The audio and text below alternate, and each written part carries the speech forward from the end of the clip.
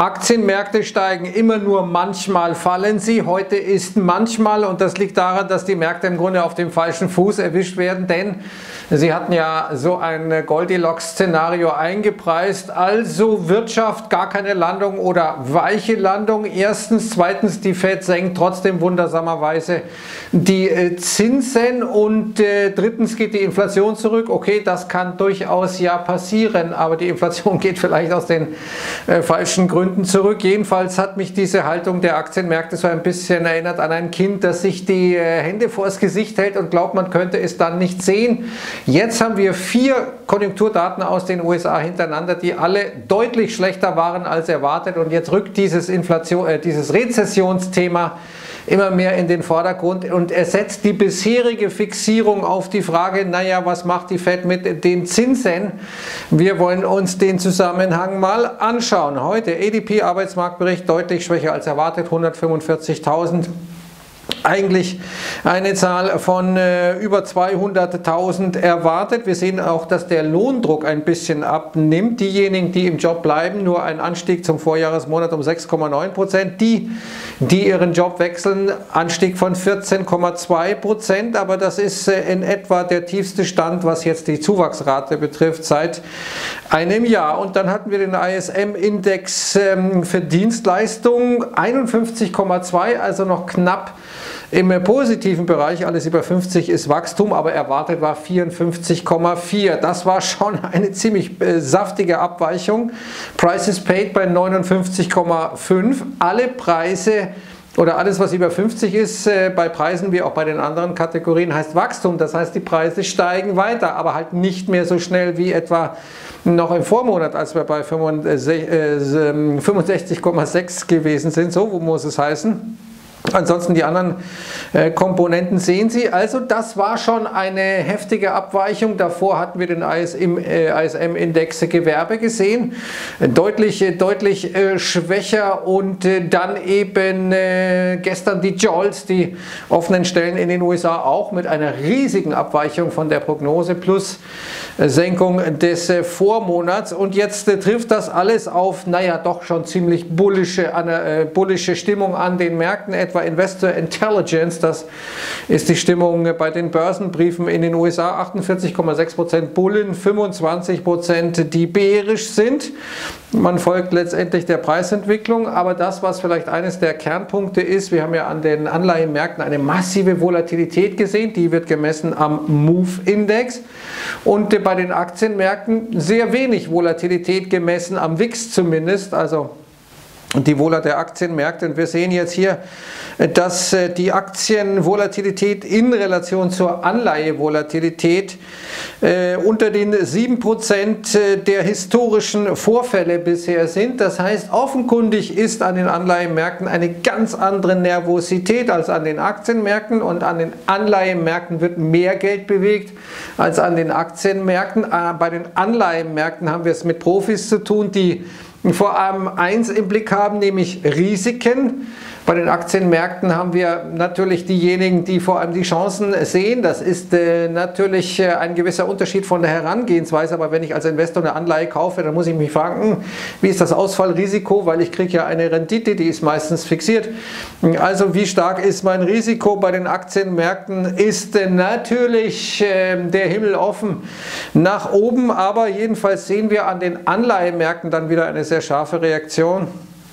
Wir sehen etwa jetzt die zweijährige Anleiherendite ähm, fällt 13 Basispunkte unter 3,7 Prozent, tiefster Stand seit September 2022, eben weil jetzt vier Konjunkturdaten hintereinander äh, praktisch so massiv enttäuscht haben. Dann gucken wir uns mal äh, die Zinskurve zwischen der zweijährigen und der dreimonatigen an. Die ist nur einmal in den letzten 40 Jahren invertierter gewesen als aktuell. Das war 2001, als die Fed überraschend damals äh, die Zinsen um einen halben Prozentpunkt gesenkt hatte. Also wir sehen, da ist eine ganz andere Show vorhanden an den Anleihenmärkten. Das sehen wir dann auch bei der Zinskurve, die für Fed-Chef Jerome Powell erklärtermaßen, mehrfach erklärtermaßen, die entscheidende ist, nämlich die äh, Differenz zwischen der Erwartung, wo die Rendite für die dreimonatige Anleihe in 18 Monaten sein wird und der aktuellen Rendite für die dreimonatige US-Anleihe. Klingt ein bisschen schräg, aber bringt so ein bisschen die Rezessionssorgen eben sehr genau auf den Punkt. Und jetzt sehen wir, dass sogar mehr als vier Zinssenkungen für das Jahr 2023 bereits eingepreist werden. Erste Analysehäuser sagen also, wir kaufen jetzt Anleihen. Man geht also davon aus, dass die Anleihekurse weiter steigen und die Renditen weiter fallen, eben weil diese ganze Rezessionsgeschichte kommt, weil wir aufgrund der Bank, äh, Bankenkrise eben eine Verschärfung der Kreditbedingungen haben. Das wird den Konsumenten treffen und so weiter und so fort. Und wir sehen, äh, wie ich vorhin sagte, jetzt ähm, die Renditen, vor allem auch der 10-jährigen US-Staatsanleihe unter Druck, fällt auf 3,26 Prozent. Und hier sagte Jim Bianco, naja, fallende Anleiherenditen sind per se nicht bullish oder bärisch für die Aktienmärkte, sondern es kommt darauf an, warum sie fallen. Und aktuell fallen sie, wie Mike Wilson gesagt hat, aus den falschen Gründen, nämlich weil die Wirtschaft offenkundig sehr, sehr stark abkühlt. Das genau ist das Thema und jetzt ist die Frage, naja, wie geht die ganze Geschichte weiter? Goldman Sachs sagt, also schauen wir uns doch mal historisch an, was passiert ist, nachdem die Fed aufgehört hat, die Zinsen anzuheben. Da ist es dann fast immer nach oben gegangen, es sei denn, es tritt relativ zeitnah eine Rezession ein. Auf der anderen Seite sehen wir die letzten äh, Zinssenkungszyklen, der Pivot der Fed, der war dann in der Regel nicht bullisch, aber das ist wahrscheinlich das Entscheidende. Kommt die Rezession bald oder kommt sie nicht? Wenn sie bald kommt, sind Zinssenkungen oder der Pivot der Fed, der Stopp der Zinsanhebungen, alles andere als bullish, wenn sie nicht kommt, dann wäre das eine Chance für die Aktienmärkte. Jetzt ist ähm, die Fed natürlich gefragt, was tun. Mester hat sich heute wieder geäußert, zwar nicht stimmberechtigt, aber dennoch irgendwie doch ziemlich einflussreich, weil sie so ein bisschen im Meinungsspektrum doch Richtung Mitte tendiert. Die hat gesagt, ja, ein bisschen früh, ob wir früh zu sagen, kann man noch nicht sagen, ob wir im Mai nochmal die Zinsen anheben. Gestern hatte sie noch gesagt, ja, wir müssen die Zinsen noch weiter anheben und dann ein Satz, äh, hoping we don't tighten until something breaks. Ich hoffe, wir straffen also die Geldpolitik nicht, bis dann etwas bricht. Nun könnten böse Zungen sagen, naja, es ist was gebrochen und zwar die Achillesferse letztendlich der Finanzmärkte, die Banken. Und äh, genau das ist das Thema. Die Bankenkrise ist nicht vorbei, sondern verschärft sich weiter. Heute im Fokus Western Alliance Bancorp ähm, eine Bank, die äh, zwar Zahlen vorgelegt hat, aber sich dabei geweigert hat zu sagen, wie es ausschaut mit den Kundeneinlagen. Und das war ja das große Problem der, vor allem der Regionalbanken, dass Gelder abgeflossen sind, weil die Kunden sich gesagt haben, in Geldmarktfonds kriege ich viel bessere Renditen, da äh, switche ich mein Geld dorthin. Daraufhin mussten sich Banken äh, oder mussten Banken entweder Assets aus ihrem Portfolio verkaufen, meist Anleihen, die tief unter Wasser waren vor der Fälligkeit. Aufgrund der Zinsanstiege durch die FED sind die Renditen ja gestiegen und die Anleihekurse gefallen. Oder sie sind eben dann äh, zur FHLB gegangen oder zur FED gegangen als Not Ausgang sozusagen, um sich frische Dollars äh, noch zu sichern, die allerdings teuer verzinst sind, durchschnittlich mit 4,5 Prozent. Wir sehen Western Alliance Bancorp heute inzwischen jetzt bei 16 Prozent Minus und auch wieder fast 3 Prozent im Minus. Charles Schwab, das ist äh, ein richtiger Dickfisch mit 34 Millionen Kunden oder Kundenkonten. Das äh, wäre dann etwas, was das System wohl nicht mehr so richtig vertragen kann. Jedenfalls sehen wir, dass der regionale Bankenindex ein neues Tief macht. Ein tiefster Stand seit einem Jahr. Hier sehen wir ja dieser Absturz, dann äh, diese Erholung. Und interessant ist, schauen wir uns mal an, welche Banken am meisten geschortet sind von äh, Spekulanten. Dann sehen wir hier eine Toronto Dominion Bank, also eine kanadische Bank. Warum? Weil diese Bank offenkundig im Immobiliensektor sehr stark engagiert ist. Und in Kanada sind ja die Hauspreise ohne Ende gestiegen, haben sich vermehrfacht in wenigen Jahren, Vermögenspreisblase. Und jetzt hängt diese Bank da drin. Und äh, wenn jetzt die Hauspreise Preise fallen, dann fällt das Collateral, also die Sicherheitshinterlegung für die Kredite. Und dann muss die Bank eigentlich hergehen und zu den äh, Hauskäufern sagen, du musst jetzt aber nachschießen, sonst müssen wir dir den Kredit kündigen. Man fürchtet also Dominoeffekte, deswegen gehen da Spekulanten drauf. BNP Paribas, die französische Großbank, und dann schon Bank of America und JP Morgan Chase. Die Deutsche Bank ist da erstaunlicherweise nicht dabei. Vielleicht denken äh, die meisten, die ist eh schon tot. Ne? Die brauchen wir gar nicht mehr shorten. Aber sei es drum. Sehen hier hier sehen wir mal äh, den äh, KRE, das ETF, das diese Regionalbanken abbildet, extrem hohes Put-Volumen, während wir bei Gold etwa ein extrem hohes Call-Volumen sehen. Der Weg des größten Schmerzes wäre also, wenn diese Regionalbanken steigen und Gold fällt. Und meistens gehen perspektivisch die Märkte den Weg des größten Schmerzes und so sagt hier James Choi, simple dump gold and buy banks. Vielleicht hat er damit recht.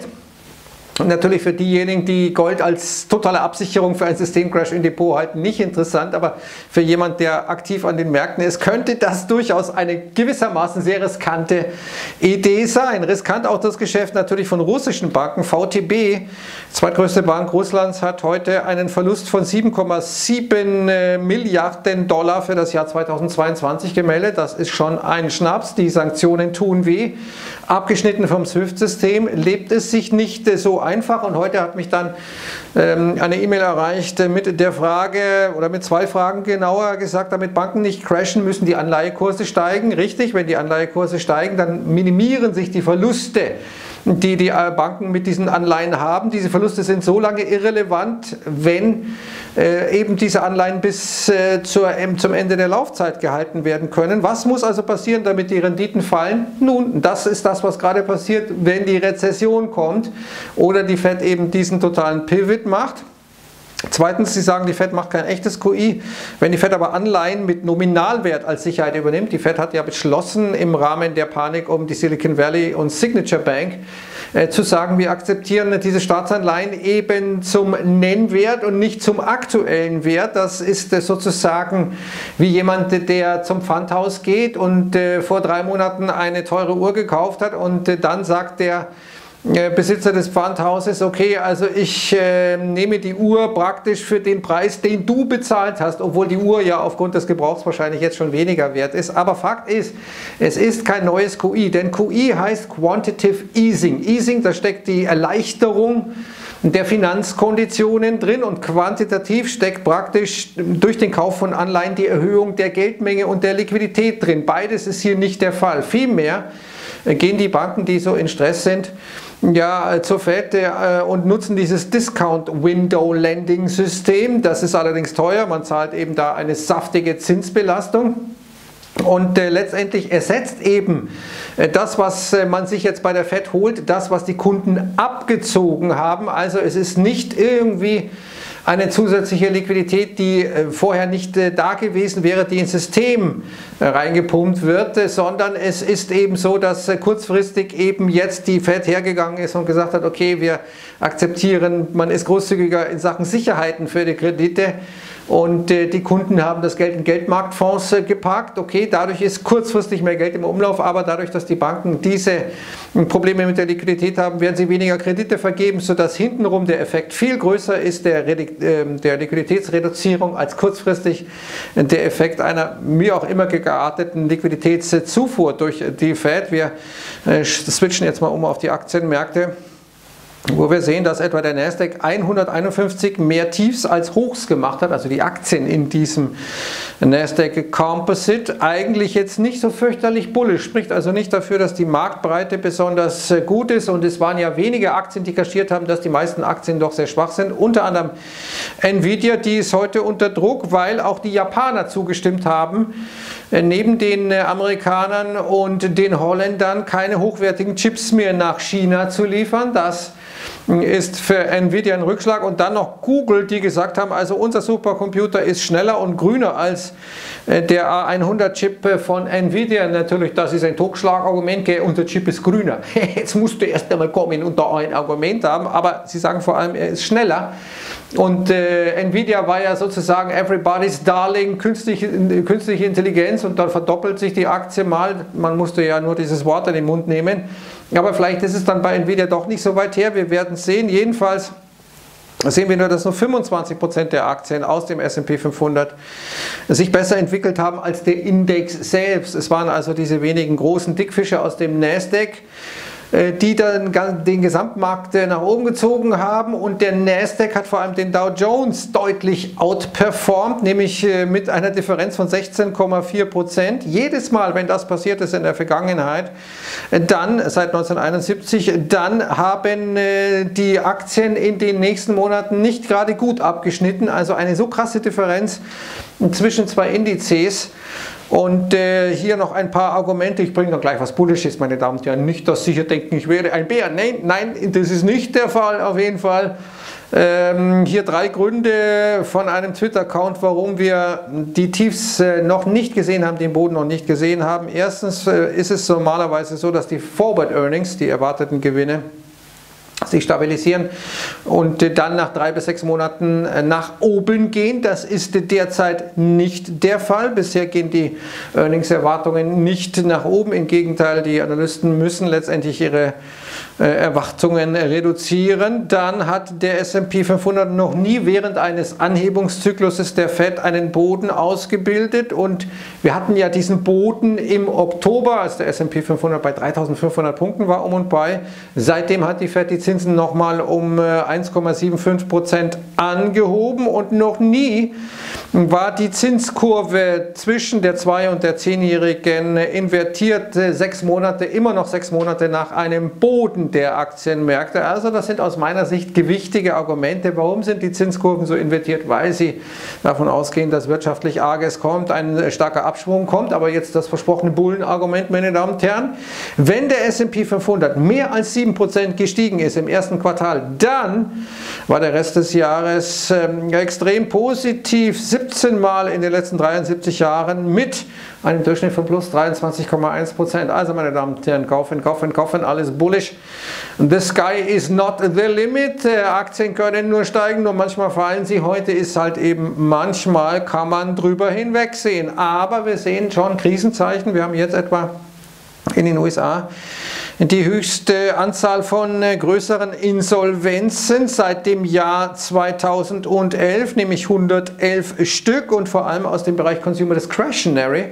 Also das sind Dinge, die man nicht täglich braucht, zum Beispiel ein Auto oder so, das Waschmaschine, nein, das kaufst du ja nicht täglich, wie zum Beispiel, was weiß ich, äh, Nahrung oder irgendwie solche Geschichten. Jedenfalls sehen wir da deutlich überrepräsentiert dieser Sektor. Das heißt, dass die Leute sich auf das Nötigste beginnen zu beschränken, offenkundig, und dadurch das Geschäftsmodell von ähm, Firmen, die etwas anbieten, was man haben kann und sich leisten und gönnen kann, aber nicht haben muss, äh, offenkundig in Schwierigkeiten gerät. Und dass die Firmen in Schwierigkeiten kommen, das wird erst kommen, weil die Kreditvergabe durch die Bankenkrise sich deutlich eben verschärfen wird. Wir haben bisher nur Daten aus dem Februar, also vor der Bankenkrise. Hier sehen wir aber den Chicago Fed National Financial Conditions Index, der deutlich hier sich äh, in Richtung ähm, Verschärfung entwickelt hat, also rigider äh, rigidere Finanzkonditionen sich entwickelt hat, aber der S&P 500 ist dennoch gestiegen, sehr untypisch. Normalerweise läuft das äh, entgegengesetzt, aber diesmal, meine Damen und Herren, ist alles anders und jetzt beginnt das Rattenrennen, ich hatte das im Titel, und dieses Rattenrennen beginnt jetzt auf mehrfache Weise. Erstens in Sachen Zinsen, zwischen den Banken äh, und dann auch mit den Notenbanken dazu gleich mehr. Hier sehen wir das ja, First Republic hatte ich gestern schon gesagt, jetzt mal 4,5 Prozent für äh, sogenannte 60-Tage-CDs, also Certificates of Deposits, äh, praktisch, das ist äh, Termingeld auf 60 Tage, anbietet. Damit will man das Geld den anderen Banken abluchsen. Das Rattenrennen beginnt jetzt aber auch in Europa, etwa die ING, die jetzt sagt, ja, wir bieten euch 3% Zinsen, aber nur, wenn ihr das Geld von einer anderen Bank abzieht und wenn ihr das in den nächsten 20 Tagen macht. Also äh, das ist das, was ich immer wieder gesagt habe in Europa. In Europa hat das noch nicht begonnen, aber das wird auch hier kommen. Hier hat mich jemand angeschrieben und hat gesagt, ich bin heute von der ING darüber informiert worden, dass ab sofort eben diese 3% Bonuszinsen äh, gelten aber nur, wenn das Geld von einer anderen Bank kommt, äh, wenn das mal kein Versuch ist, die Konkurrenz zu äh, liquidieren, ja, ihr das Leben schwer zu machen und das wird für die Banken dann hierzulande auch ein Problem. Das war gleichzeitig die erste Artikelempfehlung. Jetzt kommt die zweite, nämlich vor allem Vertreter der Südländer sagen, oh, wir könnten doch bald mal aufhören, die Zinsen anzuheben und wir sehen heute den Euro-Dollar, der nicht mehr so stark ist, trotz dieser schwachen Zahlen aus den USA, weil die Märkte jetzt langsam kapieren, wenn die Fed umsteuert, dann kannst du gar nicht genau, gar nicht schnell genug gucken, bis dann die EZB das Gleiche macht.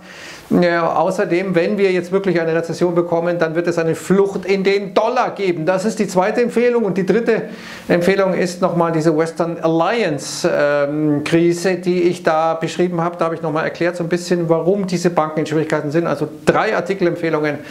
Ich empfehle mich jetzt und sage Servus und Ciao.